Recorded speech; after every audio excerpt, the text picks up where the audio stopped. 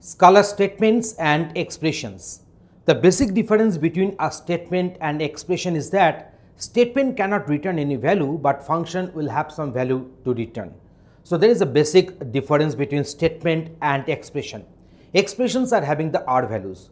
So to have a more idea, we shall, we shall discuss this topic that is the Scala statements and expressions with some practical demonstration. So here is the demonstration for you. In this video, we are going to share a very important concept that is the statement and expression. So what is a statement? Statement is nothing but one unit of code and statement cannot return any value. So if you write a statement like say print ln say hello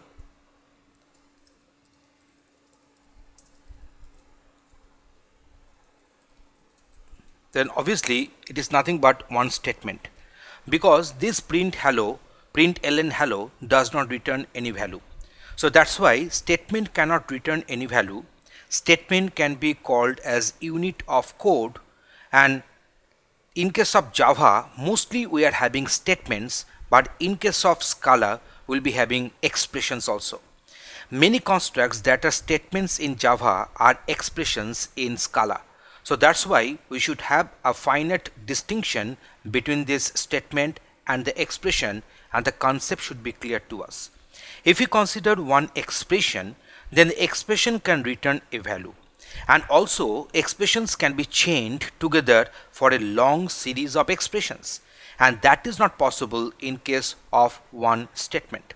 So if we write say val, say radius, say val radius is equal to say 20 if I write this one then in this particular case we can consider that this val radius is equal to 20 is a statement but on the right hand side you are going to get this one as one expression.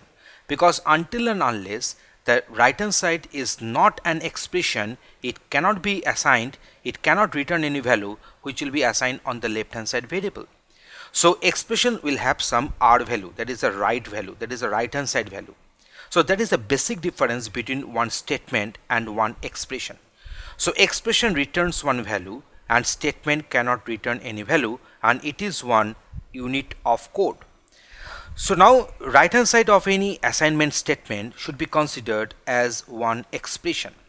So if we go for say val, if we go for area cal if we go on calculating this area cal is equal to if I write this one as say val pi is equal to 3.14 semicolon and then we're going for this pi. If we go on writing in this way that means val pi is equal to 3.14 semicolon then pi star radius star radius then in that case the area cal will get calculated with the respective area. And here you can find that the last expression is a return value. You can consider this one. The last expression is is returning one return value. And here this particular statement and this particular expression must be separated by the semicolon.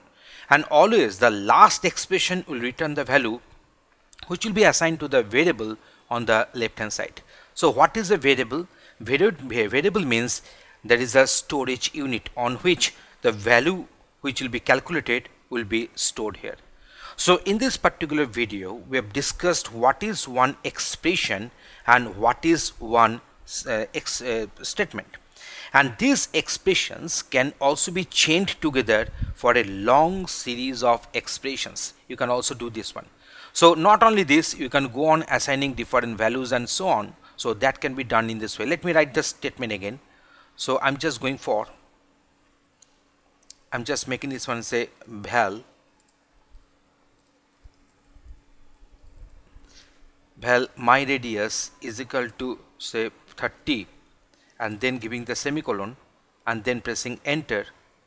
I'm making this one as my radius.